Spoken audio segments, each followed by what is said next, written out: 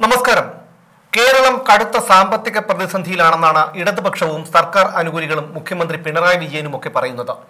ഇതൊരു തരം തെറ്റിദ്ധരിപ്പിക്കലാണ്. കേരളത്തിന്റെ കാരണഭൂതൻ സംസ്ഥാന ഭരണകൂടത്തിന്റെ തലവൻ പിണറായി വിജയനാണ്. രണ്ടായിരത്തി പതിനാറിൽ എൽ ഡി എഫ് അധികാരമേറ്റെടുത്ത് പിണറായി വിജയൻ മുഖ്യമന്ത്രിയായതിനു ശേഷമാണ് കേരളം ഇത്രയധികം കടക്കണിയിലായതെന്ന് പറഞ്ഞാൽ പാർട്ടി അണികൾ പോലും രഹസ്യമായി സമ്മതിക്കും.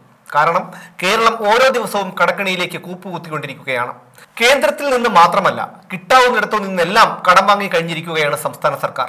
ഇന്നിപ്പോൾ സർക്കാരിന്റെ ദൈനംദിന ആവശ്യങ്ങൾക്ക് പോലുമുള്ള പണം പൊതു ഖജനാവിലില്ല രണ്ടായിരത്തി പതിനാറിൽ പിണറായി വിജയൻ നേതൃത്വം നൽകിയ എൽ ഡി എഫ് സർക്കാർ അധികാരമേറ്റെടുത്തതിനു ശേഷം അന്നത്തെ ധനമന്ത്രി ഡോക്ടർ തോമസ് ഐസക് പറഞ്ഞത് ഖജനാവിൽ പൂച്ച പെറ്റുകിടക്കുകയാണ് എന്നാണ്. അന്നത്തേതിന്റെ പതിന്മടങ്ങ് ദയനീയാവസ്ഥയാണ് ഇന്ന് കേരളത്തിന്റെ സാമ്പത്തികാവസ്ഥ. കിട്ടാവുന്നിടത്തു നിന്നെല്ലാം കടം വാങ്ങുമ്പോൾ ഇതിന്റെ എല്ലാം പരിണിത ഫലം അനുഭവിക്കേണ്ടത് നമ്മൾ പൊതുജനങ്ങളാണ്. അത് ഓർക്കണം. ഇന്നലെയും മുഖ്യമന്ത്രി പറഞ്ഞത് കേരളത്തിന്റെ ഇന്നത്തെ സാമ്പത്തിക തകർച്ചയ്ക്ക് കാരണം കേന്ദ്ര സർക്കാരാണ് എന്നാണ്. സംസ്ഥാന സർക്കാരിനെ സഹായിക്കേണ്ടതിനു പകരം നിർഭാഗ്യവശാൽ കേന്ദ്ര സർക്കാർ സംസ്ഥാനത്തിന് സാമ്പത്തിക ഞെരുക്കമുണ്ടാക്കാനാണ് ശ്രമിക്കുന്നത് എന്നായിരുന്നു കൺസ്യൂമർ ഫെഡ് സഹകരണ ഓണ വിപണിയുടെ സംസ്ഥാനതല ഉദ്ഘാടന ചടങ്ങിനിടയിൽ മുഖ്യമന്ത്രി പറഞ്ഞത്.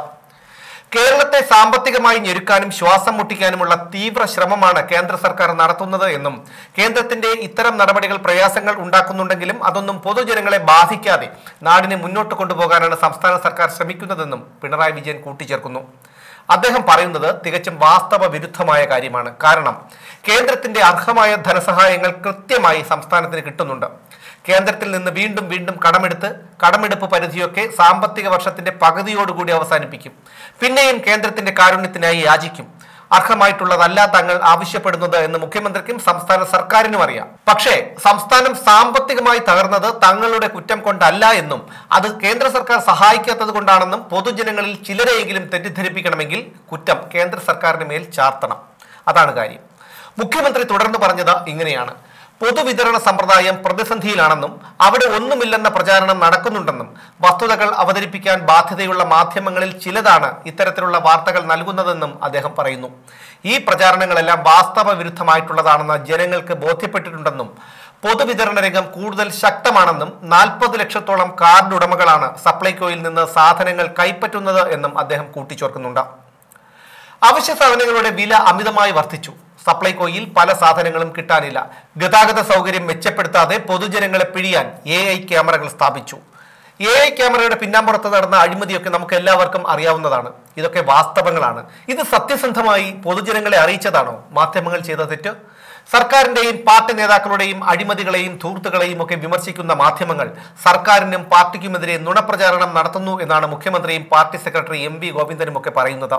സംസ്ഥാനത്ത് ആയിരത്തി അറുന്നൂറിലധികം സപ്ലൈകോ ഔട്ട്ലെറ്റുകൾ പ്രവർത്തിക്കുന്നുണ്ടെന്നും കഴിഞ്ഞ വർഷം ഇരുന്നൂറ്റി എഴുപത് കോടിയിലേക്ക് ശരാശരി വിറ്റുവരവ് ഉയർന്നിരുന്നുവെന്നും പതിമൂന്നിനം സാധനങ്ങൾ രണ്ടായിരത്തി പതിനാറിലെ അതേ സബ്സിഡി നിരക്കിലാണ് സപ്ലൈകോ വിൽക്കുന്നതെന്നും മറ്റു സാധനങ്ങളും വില കുറച്ച് വിൽപ്പന നടത്തുന്നുണ്ടെന്നും വാസ്തവം ഇതായിരിക്കെ. നാടിന്റെ പൊതുവിതരണ സമ്പ്രദായത്തെ ഇകഴ്ത്തിക്കാട്ടാനാണ് മാധ്യമങ്ങളുടെ ശ്രമമെന്ന് മുഖ്യമന്ത്രി പറയുന്നു. ഇനി അദ്ദേഹം പറയുന്നത് കേട്ടാൽ തമാശയാണെന്ന് തോന്നും. അതിങ്ങനെയാണ്. കേരളത്തിലെ പൊതുവിതരണ സമ്പ്രദായത്തെക്കുറിച്ച് പഠിക്കാൻ നാടിന് പുറത്തുള്ള ഭരണകർത്താക്കൾ വരെ ശ്രമിക്കുന്ന ഘട്ടമാണിത്. കേരളത്തിൽ ദേശീയ ശരാശരിയുടെ താഴെയാണ് വിലക്കയറ്റ തോത് നിൽക്കുന്നത്. ദേശീയ തലത്തിൽ പച്ചക്കറികളുടെയും ധാന്യങ്ങളുടെയും ഒക്കെ വില ക്രമാതീതമായി വർദ്ധിച്ചു. പച്ചക്കറി വില മുപ്പത്തിയേഴ് ദശാംശം മൂന്ന് ശതമാനം വർദ്ധിച്ചു. ധാന്യങ്ങൾക്കും പയറുവർഗങ്ങൾക്കും പതിമൂന്ന് ശതമാനം വില കൂടി. ഈ വിലക്കയറ്റം തടയാനുള്ള ശ്രമമാണ് നടത്തേണ്ടതെങ്കിലും നമ്മുടെ രാജ്യത്ത് പലിശ ഭാരം കൂടി അടിച്ചേൽപ്പിക്കുന്ന സാഹചര്യമാണുള്ളതെന്നും മുഖ്യമന്ത്രി പറയുന്നു.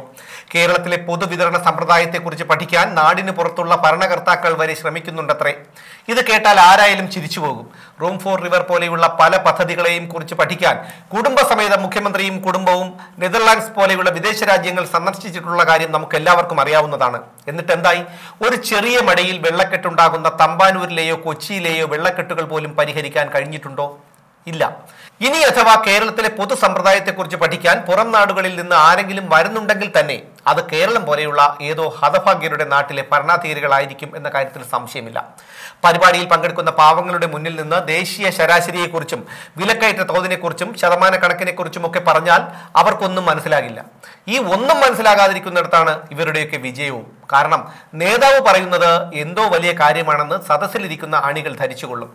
കുടുംബസമേതം നടത്തുന്ന അടിക്കടിയുള്ള വിദേശ യാത്രകളും കടമെടുത്ത് വാങ്ങിക്കൂട്ടുന്ന ബസ്സുകളും നിലവിലുള്ളതിന്റെ നാലഞ്ചിരട്ടി വില കൊടുത്ത് സ്ഥാപിച്ച എ ഐ ക്യാമറകളും ഒരിക്കലും നടക്കാത്ത കേരയിലും ഭക്ഷ്യക്കിറ്റും ക്ലിഫ് ഹൗസിലെ നീന്തൽക്കുളം നവീകരണവും ലിഫ്റ്റ് പിടിപ്പിക്കലും തൊഴുത്ത് നിർമ്മാണവും മുഖ്യമന്ത്രിയുടെ സുരക്ഷാ ക്രമീകരണവും ആവശ്യത്തിനും അനാവശ്യത്തിനും സുപ്രീം കോടതിയിലെ വിലപിടിപ്പുള്ള അഭിഭാഷകരെ കൊണ്ടുവന്ന് വാദിപ്പിച്ചതുമൊക്കെയാണ് കേരളത്തിലെ ഈ സാമ്പത്തിക പ്രതിസന്ധിയിലെത്തിച്ചത് എന്ന കാര്യം എനിക്കുമറിയാം നിങ്ങൾക്കുമറിയാം ഭരിക്കുന്നവർക്കും അറിയാം പക്ഷേ എന്തു കാര്യം?